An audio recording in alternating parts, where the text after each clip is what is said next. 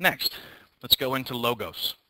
Logos refers to the logical content of communication, including the information being presented and the organizational structure of that information. And again, that definition might not help a ton, so let's break that down a little bit. Logos is the logical content of your argument. This might include the information you present, the connections you make between elements of your argument, and the logical conclusions you draw based on the information you present. The logical conclusions are the key here.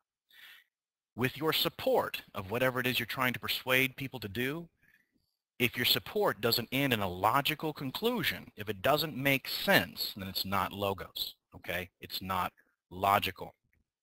And once again, let's see how Calvin handles logos. You know, school wouldn't be so bad if you didn't have to go every day.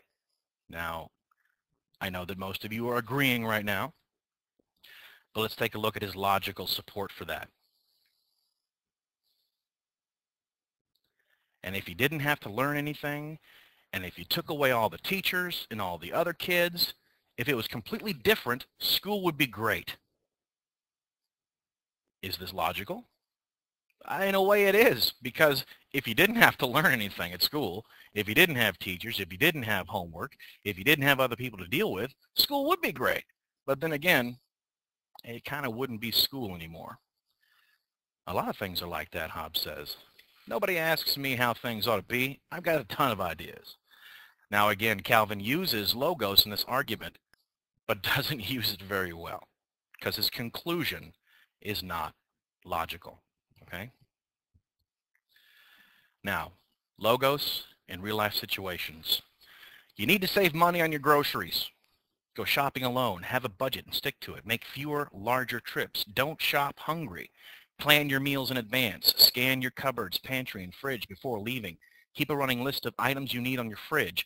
Break your list down by store and plan your outing accordingly.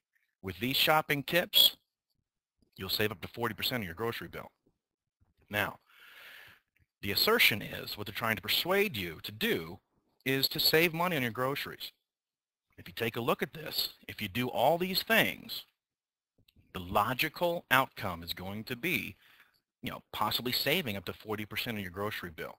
And it makes sense if you shop alone, if you have a budget and stick to it, fewer trips, don't shop hungry. All these things end in the logical conclusion of saving money on your grocery bill. Okay? And that's logos.